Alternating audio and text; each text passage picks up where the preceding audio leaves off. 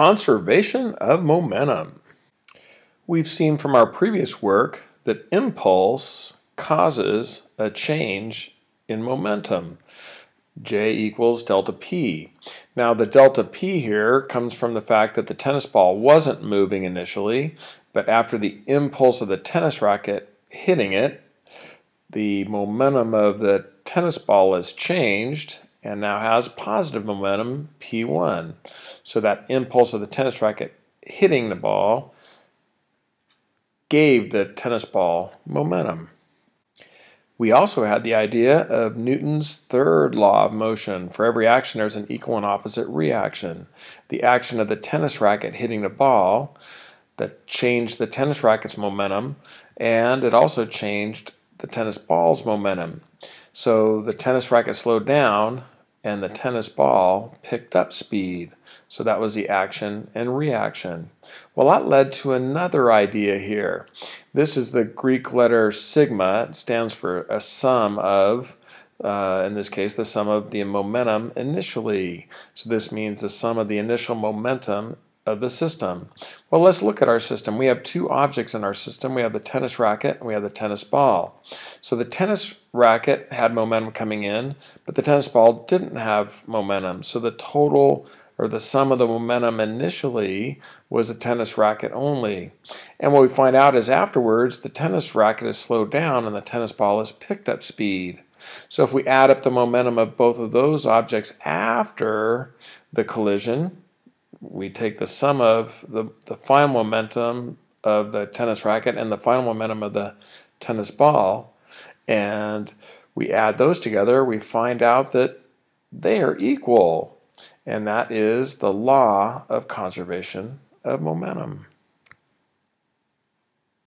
Another way to state the law of conservation of momentum is to say that the sum of the momentum in a closed and isolated system will remain constant. And in words here, the sum of the momenta in a closed and isolated system remains constant. So it doesn't matter when you add it up, it'll always be the same. So let's talk about what a system is and what closed and isolated systems are. A system is any collection of objects that you're happening to observe. So in our case, it was a tennis racket and a tennis ball. So we had two objects in our system. A closed system means that uh, it doesn't gain or lose mass. In other words, our two objects, the tennis racket and tennis ball, have the same mass throughout our observation. And we don't have uh, parts of the tennis uh, ball flying off or parts of the tennis racket flying off. An isolated system means that there are no forces interacting with the outside world. So we don't have a strong wind influencing the tennis ball or the tennis racket or something like that uh, in our particular case, and therefore our system is isolated. So this is our formal definition of conservation of momentum.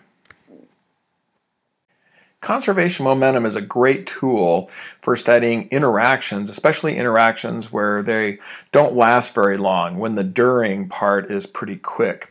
And uh, maybe we know what happened afterwards. We don't really know what happened during, but because we know what happened afterwards, we could go back and predict what happened beforehand. For example, car crashes. We know in car crashes what happened afterward, but often people don't want to tell that they were speeding or going through an intersection uh, when they shouldn't have been and so forth. But the afterwards with conservation momentum can tell us a lot about what happened beforehand because the total momentum uh, in both cases should be equal. We're going to take a look at several examples of uh, this before, during, and after.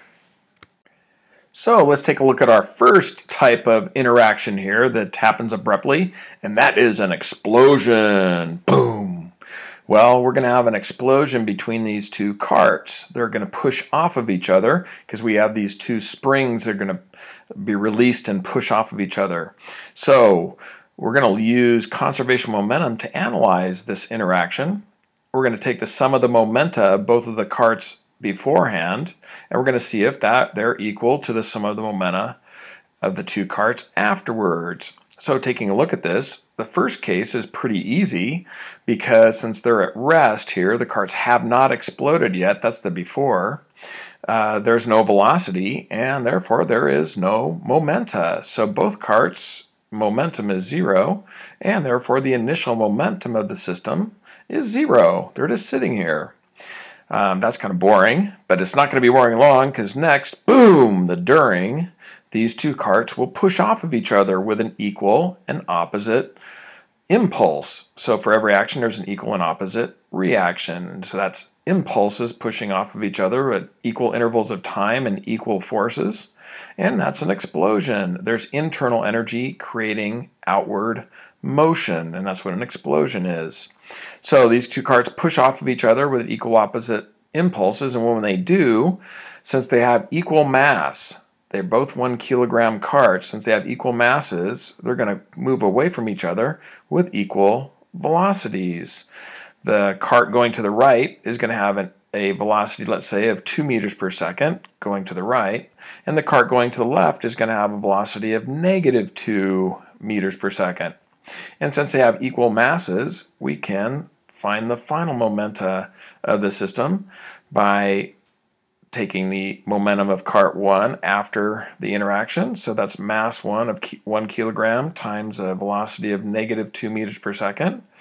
And then we can take the momentum of cart 2, its mass of 1 kilogram times a velocity of 2 meters per second, and that's a positive 2 kilograms meters per second.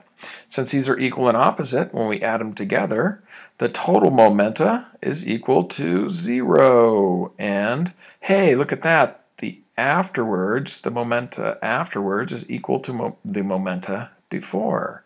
And conservation of momentum predicted that. So we're going to copy all these notes down and then we're going to take a look at this exact model with a simulation. So let's take a look at a, a, simulation of our explosion. Both carts are set up, ready to explode apart. Their initial momenta is zero since they um, are both just at rest here. So afterwards, their final momenta should be equal to zero. They each have a mass of one kilogram, so let's see what happens here. Boom, and they both exploded away from each other. And when they did, they both went away with equal and opposite velocities because because they have equal and opposite momenta. 1 times 10 is 10 kilograms meters per second, and 1 times negative 10 is negative 10 kilograms meters per second. So 10 plus a negative 10 is equal to 0. So their final momenta is also equal to 0. Let's have a little bit of fun here, and let's uh, change the mass. Let's change the mass of, uh, let's reset, and change the mass of uh, cart uh, 1 here to 2 kilograms, and let's see what happens differently here. Again, the initial momentum is 0 here, the initial momenta added together, 0 plus 0 is 0. We're going to start and see what happens afterwards. Notice afterwards that this cart, cart uh, 1 here, is going twice as fast, or cart 2 is going twice as fast as cart 1. But wait, let's calculate the momenta. 1 mass times velocity times 10. 1 times 10 is 10 going to the right. And 2 times a negative 5, because it's going to the left, 2 times a negative 5 is negative 10.